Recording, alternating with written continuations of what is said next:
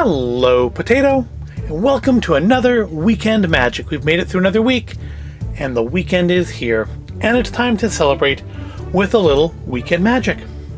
Uh, today is going to be focused on almost entirely our Earth Day haul from last week, and that's such a weird thing to say that there's an Earth Day haul. Earth Day has now become so commercialized that I have enough merchandise from Earth Day and all from Disney to call it a haul.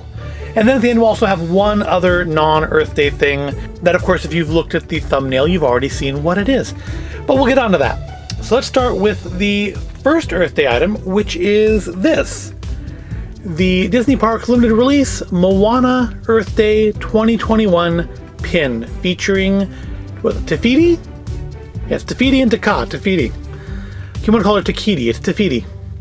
Not Tahiti, but Te Fiti. And yeah, it's a very nice little pin. In fact, let's uh, let's get a little bit of a closer look at it. Here we go, a little bit of a closer look at our Earth Day Te Fiti pin. And she was $15.99 and I ordered it on Shop Disney because I honestly didn't think that they would have them in store. And of course, we went in on Earth Day and they did actually have some. They didn't have any other Earth Day merchandise, including the key, but they have this. This is one of the things we ordered that came with one of those keys. And if you are interested in the key, I talked about the key last week's video. Uh, I described it as the cheapest key. And yeah, I was not super impressed with it, but I, I think I think it's a cool idea. It's just even cheaper than I thought it would be. But the pin, the pin's nice. Uh, it's nice and detailed. We got a little pin on pin stuff going on here. There are two layers to the pin, and it is double back because it's actually it's a pretty weighty pin. And also, you know, whatever you're pinning on, you're sure you want it to stay facing upright and not, you know, not spin around, which you know single back pins tend to do. It's a nice little pin, nice little remembrance of Earth Day. And uh, I know some people some people don't like it when the pins have the year on them, and I get that. If you just wanted a nice Te Fiti pin, uh, then you know having it say Earth Day 2021 on it isn't great. But honestly, I I didn't even realize that when I first saw the pin online that even said that. Those are fairly subtle in the background there, so you could probably get away without people not necessarily noticing. That's nice. I I kind of want a, a Te Kā pin to go with it, but I suppose that would sort of defeat the purpose of an Earth Day pin, wouldn't it? So on Earth Day itself, Shop Disney released a line of merchandise called Fun Eat Repeat. Um, there were a few things like, you know, I think there were some dishes. There was a bunch of stuff. I don't remember all of it. All I remember is the stuff that we actually bought, and that is three items, and they all showed up this week. The first being this Play Drink Repeat. It is a reusable straw. So, of course, you know, a lot of places more and more are banning those single-use plastic straws that, yeah, we've all grown up on, but frankly, we don't need them. And, you know, there are some, there are like ones that are more easily biodegradable. There are ones made out of paper. Shake Shack likes to use the paper ones. And the problem with those is those can get, those can get waterlogged pretty quickly. And of course, if you're somebody who, who really wants to have a straw and you eventually start to run into places that don't give straws out anymore, keeping your own with you is not the worst idea in the world. And we actually have something similar to this before. I think from a, uh, I think was called Joey J O I E. We actually received it in one of those Taste of Home crates that I look at on here. I don't think it was. I don't remember if it was one that I looked at on here or one of the ones I looked at before doing videos on them. But we do have one. But what you get here is you get a little capsule with a strap. So I guess you could strap this onto your bag, but honestly, this strap feels really flimsy. Like it may be biodegradable and may indeed biodegrade while you're using it. So I would not encourage you to hang this off of anything. It just feels, it feels, it feels like it could go brittle very easy. I'm trying to think of the right words. It feels like it could go brittle and snap very easily, and then you want your straw and it's not there. I would, I would tuck this little capsule in your bag somewhere. I wouldn't, I wouldn't have it dangling off, even if it does look kind of cute.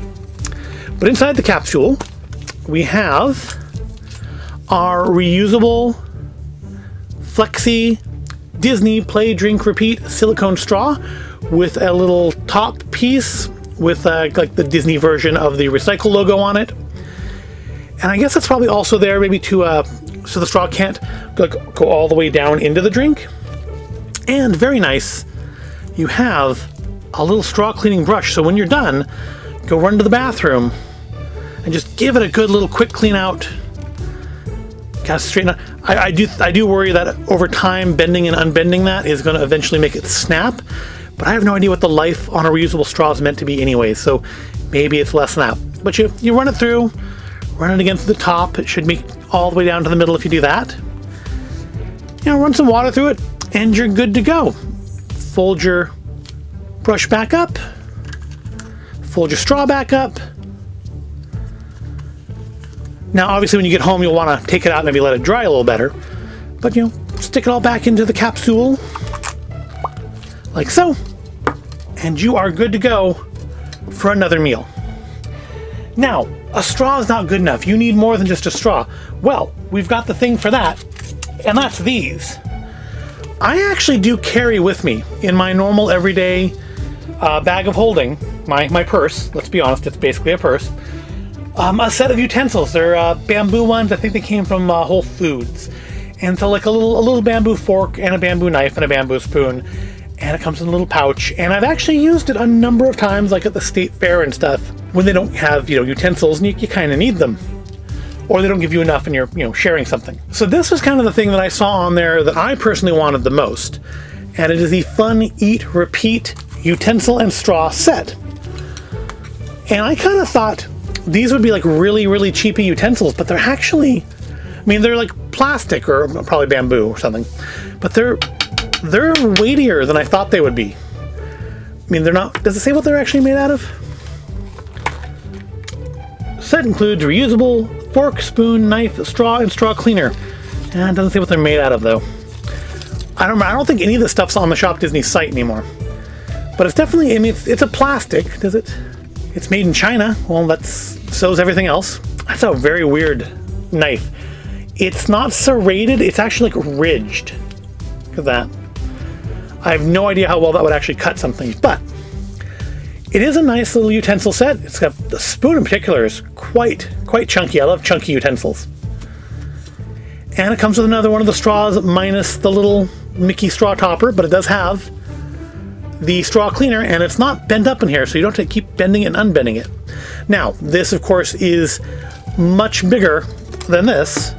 It's uh, it's not super light, but if you have somebody, if you're somebody who carries a big purse or you know a big satchel or whatever, again, not a bad thing to have. Especially I could see going up to Disneyland because uh, you know utensils aren't always easily available.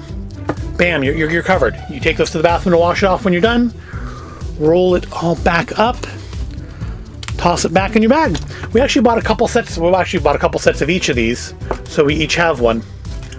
And um, yeah, and it's I think particularly with the straw, this is going to be a thing where those of us who want to use straws, and I'm personally fine either way when it comes to having a straw. But if somebody, if you're somebody who really, really likes having a straw, it's gonna be good to have one of these, not necessarily this one, but um, a reusable silicone straw that you can just keep in your bag going forward in the future. Because I do think we are gonna see the old style plastic straws go by the wayside, and I think some of the replacements just aren't great. And rather than carrying it up at some underpaid fast food worker because they don't have a straw for your soda, you can just just take care of yourself. We have one more item from the Fun Eat Repeat line, and that is this. Now, this is something my wife picked out. Honestly, I thought these would be a little bit bigger than they are, but I was thinking, because I didn't look that closely at the description on the website, I was thinking they were like face towels, face flannels. They're actually, according to the packaging, dish towels, so the size makes a lot more sense. A set of four dishcloths. So yeah, for cleaning, for cleaning dishes, these are probably a more appropriate size. Again, we have the kind of Mickey head recycle logo on the front, and you get four of these little reusable dish towels and a little thing to keep them in. Now that said, I think the reason I thought these were like washcloths is because I've seen people keep little little holders like this of washcloths next to their sink. I've never seen anybody do that for dish towels. Personally, myself, uh, we just have like the one dish towel out at a time. We use it when it gets mucky. You toss it in the wash and you pull out another one. But yeah, this one comes with four, so I guess you know if you do that, you could do that. But they're nice. They have an interesting texture to them. They're a little rough. They're not super soft. But again, they're for your dishes, not your face. And again, I don't think they say what they're made out of, do they? I'm guessing it's that bamboo stuff. Yeah, it doesn't say. You'd think. You'd think being uh, for Earth Day, they'd want to really shout out on the label what they were made of. Now, I guess these were maybe meant to be sold in Disney stores because they have the Disney store price tags on them. But yeah, we didn't see them in our in our surviving store. Maybe they got them late. Who knows? I, I'm still of the opinion that Shop Disney is kind of sabotaging the physical stores just to justify shutting more of them down. But price-wise, the utensil set was $19.99, which I think personally, that's not a bad deal for three utensils, a straw, and a lovely little carrying wrap. The individual straws were $9.99 each, and then the towel set was $26.99. So uh, the, the more most expensive item in the set that we picked up. Again, I think there were a couple other things. I don't think any of them are still on the Shop Disney site, but I could be wrong. If you're interested, go check it out. Or who knows, judging by these price tags, maybe they did eventually show up in the Disney store. Now, when we ordered these actually on Earth Day, the Earth Day key, the paper key was gone. They were all out of those because we did we did throw the code in there again just to see if that would come up, and nope, nothing. No, no, no good. No works. No more. However, they had started another thing where if you spent, I think it was $75, and keep in mind we bought two of each of these. If you spent $75, you got a free gift uh, that you could choose from a selection of, I think they had like a dozen items, maybe a few more. And um, as I recall, there's only like one thing in there that I thought was particularly nice, and it was a thing that I already have. And I don't remember what it was. I remember going, oh, that's nice. That's why I bought it already. And so we, we kind of got down to, you know, what should we get? I mean, it's free. You might as well get something. You're spending the money. And we're down to, they had like a big plastic talking LGM from Toy Story, which, you know, I do like me some LGM. And this. Obviously, we went with this. And it is a piece of jewelry. So my wife picked this one out for herself. And it is a little dangly ring. Uh, one size fits all because being the way, you can see the way it is, like slide it out. You could of course bend that to fit whatever size your finger is. I could make it fit myself, but I'm not going to because that would be mean.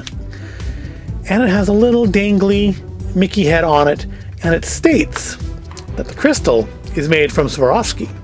So it's fancy. It's also tiny. I want to say this sells on the website for like 25 and uh, yeah, we got it, you know, for free because why not? The box is not the best for it because it does slide right off of the uh, the mount there because of the kind of ring it is. But still, it's a cute little ring, and hey, it was free, so why not? One more item, not Earth Day. Actually, it's something from this week, and I was very surprised that it showed up yesterday. And that is our last item today. Let's let's put our pin out there too. So everything's in the shot. Everything's in the shot. The last item, our non-Earth Day item, is this. Yes, it is the new Disney Princess Key. This was available on, what, Tuesday? I think it was? Maybe it was Monday. No, it was Tuesday. Definitely was Tuesday. Um, if you bought $25 worth of stuff, you got this for free. And so, you know, you know they've had the keys that you buy, the ones you pay for, the $12.99 ones? Those things just sit in the store because they order thousands of them. This, not so much. Apparently, it had run out by the uh, early afternoon. So I'm guessing I'm lucky to have gotten one. But it's kind of an interesting looking key. I think it's um, it's still just the same basic plastic Disney key, like all the other Disney keys. It's not made out of anything nicer, but it looks nicer. And that's just because of the, the golden brown color scheme. But if I look closely on here, I don't think I can get the camera to really focus in on it. I mean, that's as good as we're going to get there. But you see the things that represent the different princesses. We've got like a uh, Anna Snowflake, the lamp from Aladdin for um, Jasmine. I think that's Mulan's fan. These are very tiny. Even I'm looking at them in person and they're very tiny. Let's see if I can get a little more light on them here. See if that helps at all. We've got Merida's bow, the Little Mermaid seashell, I don't know what that is between the seashell and Mulan's fan. Got an apple from, what was that? That'd be Snow White. Got the rose from Beauty and the Beast. I don't know what that is. Oh, I think maybe it's a spinning wheel. I think it's maybe Sleeping Beauty's spinning wheel. Although that looks like Aurora's crown, so I don't know. Got the stopwatch for Alice, who I don't, I personally don't consider a princess. She's just kind of, you know, a rich girl. I don't recognize, I can't recognize the two, the one next to the stopwatch and the one next to the snowflake. But I'm sure you watching probably do know what they are and are yelling it at your screen right now. Feel free to leave in the comments if you do uh, recognize what they are. I don't. And then, of course, at the end here, we have the Disney Castle, all done up in glitter, which kind of makes me think of the the Diamond Edition Pops you get like a Hot Topic or Box Lunch.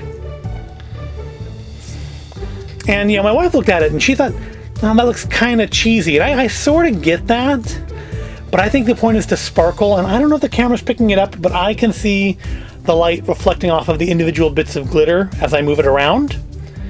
And I think that's I think that's what they're going for. And it's cute. It's a I honestly do think this is one of the better keys they've done recently. Uh, it's certainly a better giveaway key than the Earth Day paper key. Mine looks like it might be a little warped. Now, weirdly, they shipped this separately from the items that I ordered to get it, but they did all arrive on the same day, so that's interesting. Uh, this came like one of those bubble envelopes, but I mean, I'm just kind of now, now noticing that it might be a little bit warped, but I don't know if that's necessarily from the shipping or just a something to do with the way they're made or the way they're stored at the Shop Disney warehouse. But I think that's going to wrap us up for this week. Uh, we have our Earth Day haul. We have my wife's free ring. So we should leave it out so you can see it. Probably should have done that the whole time I was talking. And then we have our Princess Key, which if I stand up here, it'll probably knock everything over just like that. Still, that's going to do it for this week. I hope you found this. Oh, oh no, hold on. I've been making this a thing. I have to talk about what got me through this week. And it's going to be a little bit of an odd choice this week because it's a three year old video game, and that game is Fallout 76. And those of you who are gamers are probably groaning right now, and I get it. I totally get it. I've been playing 76 since beta. Um, I've seen it at its absolute worst, and it's a it's a downright playable game. Now, every so often, when I'm gaming, I like to play a game where I can just kind of wander around and shoot things. And I've loved Fallout New Vegas for that, to a lesser degree Fallout 4. But uh, 76 very much scratches that itch for me. And on Tuesday, they did start the new season, this new Armor Race season. So there's a little game board and daily achievements, and you unlock visual items. Like I've unlocked the beehive already. And I haven't played the game since I think February when I finished the the, the Doctor Who ripoff season. So uh, yeah, I'm back to it now and probably will be up until I finish this season. And um, I am, am of course Void Minashi in there. If you see me, feel free to say hi, but understand that being as I am actually quite, quite unsocial, I probably will just run away from you, and I almost never have my headphones on. But yeah, that's that's what's got me through this week. Uh, the new season of Fallout 76. I, I, don't necessarily recommend it to you, but if you have Game Pass on uh, on Xbox, it's part of Game Pass now, so you know, give it a try. Why not? It's a kind of a chunky download, but it's I if you enjoy wandering around and shooting things, and I've yet to find another game that really kind of scratches that itch for me.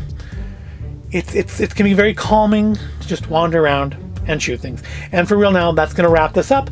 I hope you found this all interesting or entertaining. If you did, please give the video a like and make sure you are subscribed to the channel. And I'll see you in the next video.